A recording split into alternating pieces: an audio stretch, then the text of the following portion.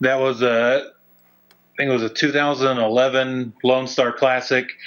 They uh, the same one where I the same weekend where I got a picture of uh, Ted DiBiase. Uh, they had a Wizard World Comic Con thing going on with a big alley of wrestlers, all the old school wrestlers, and some of the recently released people. And uh, the Nasty Boys were there, and they somehow were able to talk themselves onto the show. I was at first I was pumped, and then you know immediately realized that was going to be a bad idea because they were you know they lived up to the name of Nasty. They uh, were big partiers, drinking the whole time, and uh, they ended up getting called out by submission squad, and uh, they came down after a really long time and did a unprotected chair shot to Pierre Abernathy, who I don't think ever had taken a chair shot before to the head. So, and he didn't know that was coming, and uh, just it was just really bad. And then they just kept cutting promos, and uh, like saying or Knobbs just kept saying like I don't care if this ends up on YouTube and nobody was filming it, so there wasn't a big worry about that. Uh, and they came out and just kind of ruined the end of the show. It was you know a tournament with ACH.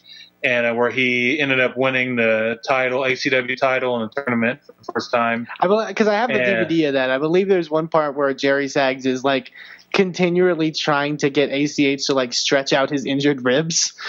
But yeah, he uh, came out and was there happened to be an empty seat that he just took front row. I think someone had got up and then just weren't going to have their seat back.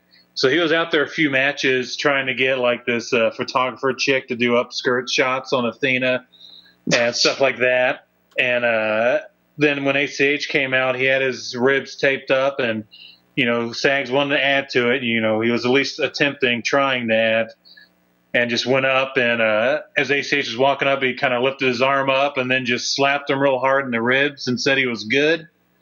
And then ACH got in the ring and they were about to start the match, and they actually rang the bell. And then Sags stood up, was like, "Hold on, hold on, I don't think he should continue. His ribs are really bad." And then just everyone just had to do the awkward. I think the entire building just awkwardly ignored Jerry Sags and uh, they had the match, and then uh, of course he got in the ring when ACH won, and uh, just wouldn't leave. And ACH was uh, trying to cut a promo, and uh, Brian Knobbs, who's on the opposite side of the ring from me, uh, threw a full beer and hit the ring right in front of me, so I got covered in beer from Brian Knobbs, and then he just Another kept thing chugging off the beers checklist. at Sags, and then ACH tried to cut this promo, and they were trying to wait because Gary Jay was going to be coming out and attacking ACH, but nobody would want to run out there because you don't know what Sags is going to do. And luckily, uh, Colt Cabana, who was on the show, got in the ring, got him out, and uh, that we could do the thing. And uh, like ACH was trying to get me to get Sags out, and I was like, how the hell am I supposed to get Jerry Sags out? But Colt Cabana was able to do it. And after the show, uh, Brian, like they were drinking and stuff, and Niles was hammered, and he kept making his way outside, and I guess he uh, there was something weird going on. I don't know if he was just uh, being very uh, handsy feely or just real. It wasn't a good situation. Whatever was going on, where a bunch of guys just said, "Hey, we need to go kind of observe what's going on. We don't know what's happening, but it could end up not good." Just like an awkward situation, and we a bunch of us went down there, and I ended up. Uh, we kind of got the people away from him, and I ended up with another guy having to baby, basically babysit Brian Knobbs on uh, on the street, trying to get him back in. And uh, he had a full beer, like he had a beer out on the street, which is illegal. You can't have an open container on the street. And uh, he asked me.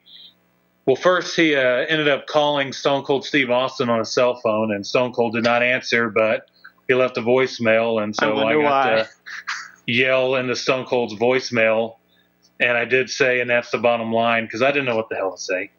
And uh, they ended up, uh, he hung up on him. I actually had to hang up. He was too drunk to figure out his Android phone, and I had to hang up on Stone Cold Steve Austin for uh, Brian Knobbs.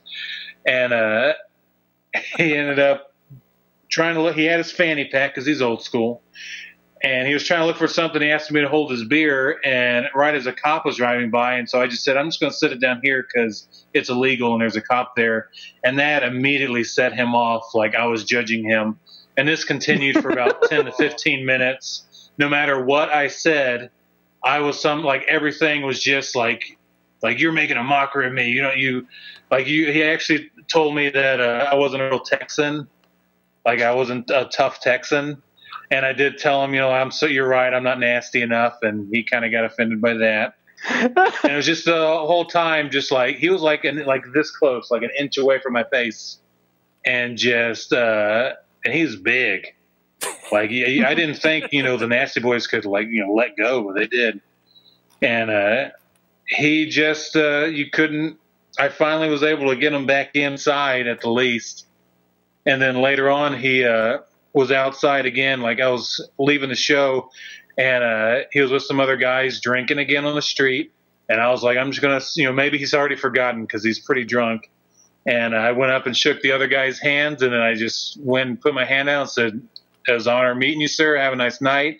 And as he reached and started shaking my hand, he just said, "Fuck you!" As he's shaking my hand, and then starts calling me like basically, I think he called me a party pooper, and uh, just started going off of me as he's shaking my hand.